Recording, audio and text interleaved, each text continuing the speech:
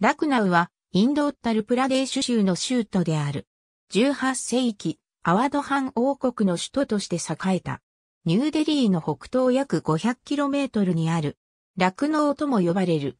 2011年の人口は281万5601人。都市の中央をゴームティー川が流れ、それを挟んで、町はトランスゴームティー地区とシスゴームティー地区に分けられる。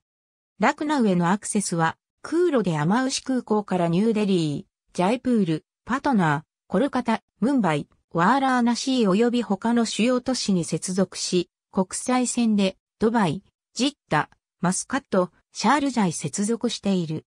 2015年末からは、ラクナウ都市圏から初の東南アジア直行便として、タイガーエア運行によるシンガポール発着の新規路線が開設される。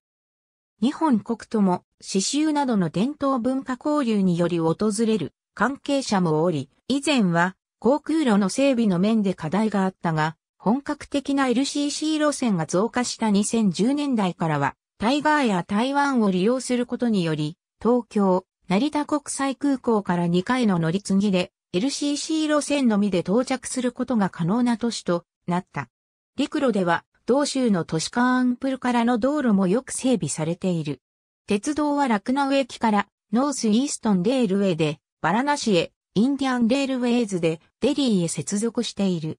研究機関が多く、農業関係としては、先端の施設を有するインド国立佐藤キビ研究所が佐藤キビの栽培試験、育種、品質管理を行っている。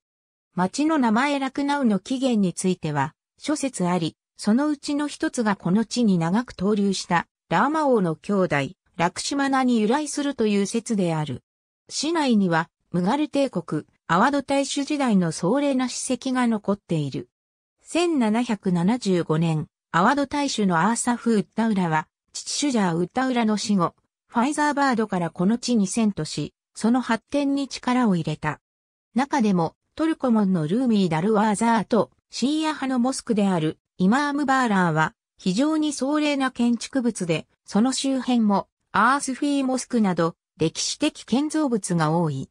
アーサフーッタウラインド大反乱では壮絶な攻防戦が繰り広げられ、イギリス領インド帝国でも重要な役割を果たし、現在でもインドの重要都市である。1916年、ラクナウ協定が同地で締結された。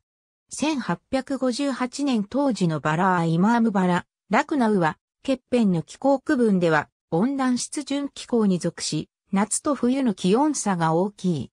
4月から10月までが夏であり、特に4から6月は乾燥しほとんど雨は降らず、非常に暑く最高気温は軽く40度を超える。最も暑い月である5月の平均最高気温は40度で、平均最低気温は24.6度である。6月中旬から9月中旬には、季節風のため降水量が多く、月間降水量が200ミリ以上となる。冬は12月から2月で涼しく乾燥し、平均最高気温は摂氏25度前後である。冬には北、インド特有の濃霧が多く発生する。ありがとうございます。